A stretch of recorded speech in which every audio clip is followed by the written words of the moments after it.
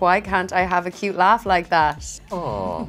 I mean, no. Probably do. I'm afraid to laugh. That's very on, cute. do. Do the laugh. Do the laugh. laugh. Make me laugh then. Oh, wow. Um, oh my, Oh my gosh, this is incredible. I've never been here before. this is the first time I'm seeing any of this. Shadow and Bone was a series developed by Eric Heisserer for Netflix, based on a series of books, the Shadow and Bone trilogy and the Six of Crows duology. Alina can be a bit spiky. I'd quite like to be a bit spikier, I think. Maybe people wouldn't mess with me. complicated as hell, really. yeah. they want to be together, but they can't. And that's where it's so complicated. Today we'll be looking at the funny moments and a little bit of the behind the scenes moments and see what is going on with this series. So let's go ahead and jump right into it. Does Kaz Brekker have a middle name? Ooh, I know. Do you? I do. Because he doesn't. Do you know the answer to this one? I think you Well, do. I think it's a question for you. Okay. yeah, it is. But before we get into more of these moments, some trivia for you. What is the color of the kefs used by Materialkists in the Second Army? Leave your answers in the comments down below and stick around to the end of the video to find out if your answer was correct. Ooh, let's bang. Slow-mo oh. that coat. Spin. Bang. Never forget being under that carriage, watching you do this. Choreography. Man, yeah, that's my favorite. That is my favorite. We get to enjoy this cast together playing besties on besties. Who is most likely to leak a spoiler?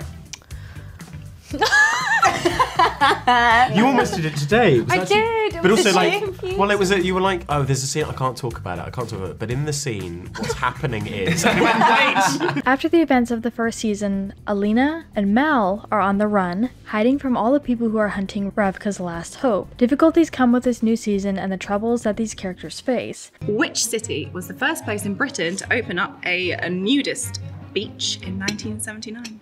Well, we both know the answer to this I think we do, question. darling. Brighton. It's right. It's B Town. B Town. We'll see you there. Have you ever been? on the nudist beach? I have actually. Have you?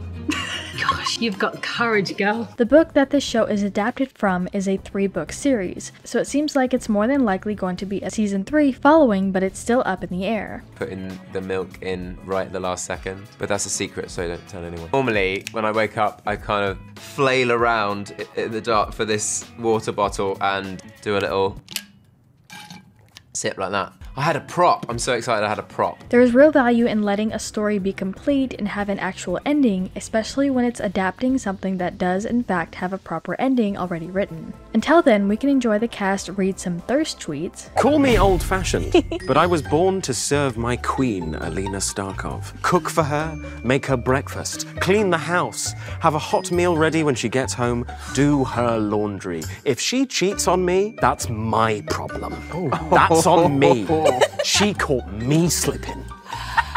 As well as some theories. I think Alina's powers and the bright of the lightning has a lot to do with her feelings. The brightest use of her powers were when she was saving Mal at the start and at the end, also to save Mal. Hmm. That is a very good theory indeed. For some reason, I thought this was a thirst tree. It is really great to watch this cast, Amita Suman, Kit Young, and Ben Barnes, play all these games during interviews and promotion of the series and this season, as it gives the audience a chance to see how close they are in real life. Ice cream. Yes. Ice cream. Yes. Okay. The the the hot Sweat. emoji. Hot. Red face Yeah. with the speed of Yeah. sweat. Well done. The violin.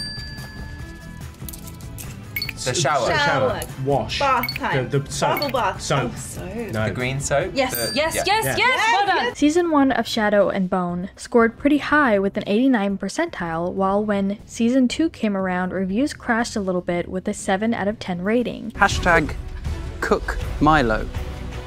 What? What? Who did this? Who's Hashtag Milo? cook Milo. Oh, Milo's spin-off show like Ratatouille when he is actually the cook.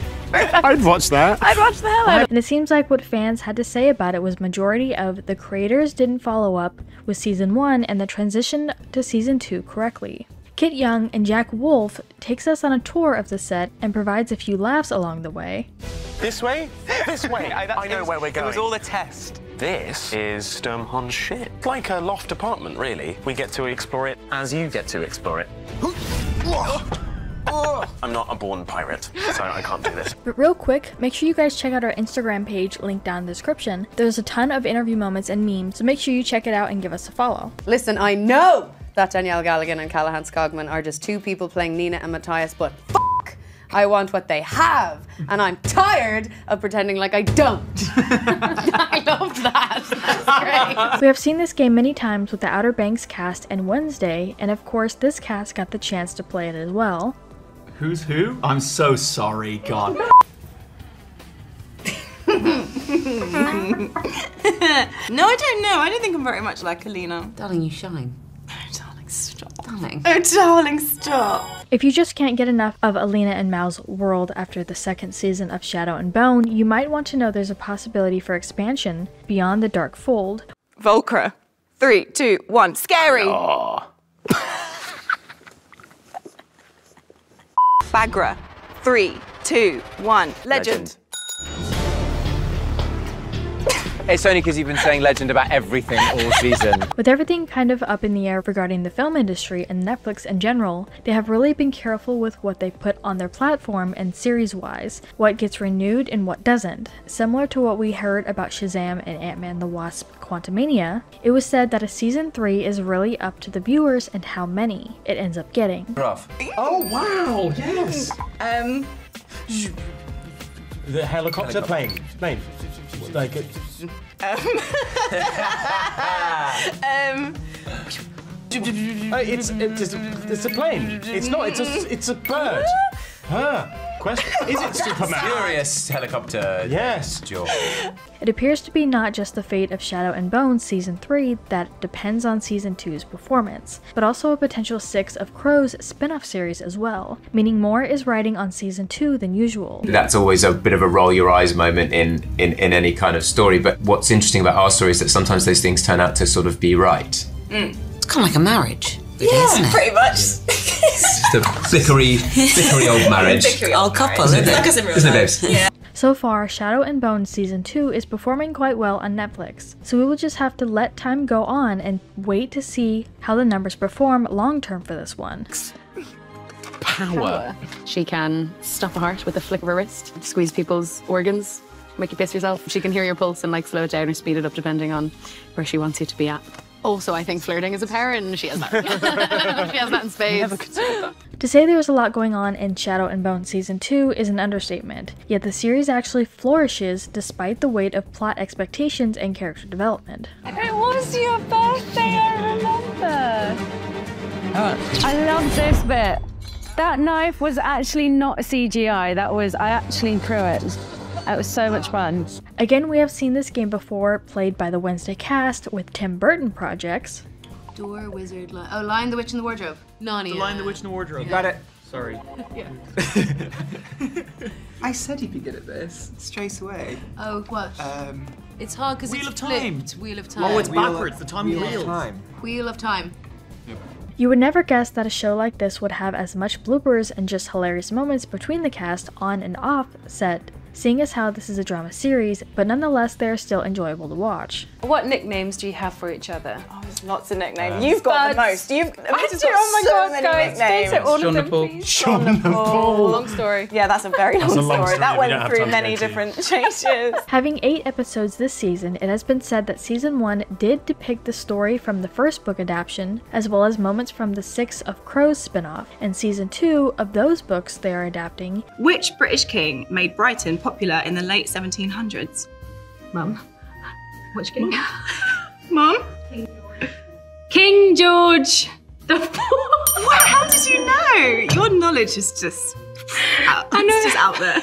Thank you. EW was able to confirm that season 2 will not only cover Siege and Storm, the novel that directly follows Shadow and Bone, but will also cover events from Ruin and Rising, the finale to Bardugo's trilogy. Well, when you're filming, it's a bit easier because when you're on set, you usually have a couple of options. I really like when you go somewhere and the menu isn't too extensive. Like Cheesecake Factory's a nightmare for me. There's too much, too much choice. In this interview, we can watch the cast attempt to figure out fan slang. Melina. Okay, I hate to break this to you guys, but Melina is the medical term for something quite disgusting. I'll leave it to you to Google it at home. Don't Google it, actually. but it's an unfortunate one. Is that what it means in fan slang? It's the shit name. Lastly, we can watch Jessie Mei and Ben Barnes play a game where they have to answer to a nosy cookie jar. Russell, Russell, Russell, Russell, Russell. Jesse, Hello. your character in Shadow and Bone is able to summon light. If you had the ability to summon one thing anytime, anywhere, what would it be? Hummus. Oh, straight away. And as far as the answer to our trivia question, purple was used for Kefta and a red embroidery for the alchemies. I'm rewatching Shadow and Bone, and Christ! Mal is so fine. Get in there. Yeah. Thanks for two. They found that they found the only two on the uh, internet. well done them. So, what do you guys think about all these moments, and what do you think of a possible season 3 of this series? Let us know what your thoughts are in the comments down below. Make sure you're subscribed with notifications on for more videos just like this. That's it for today, though. We'll see you all next time with a brand new video. Bye, guys. Umbrella. Yep. Oh, he's With the rain or without? Without. Oh, I shouldn't. Sorry. I Gosh, shouldn't you, you're not gonna lose. You're No, gonna he win. every emoji.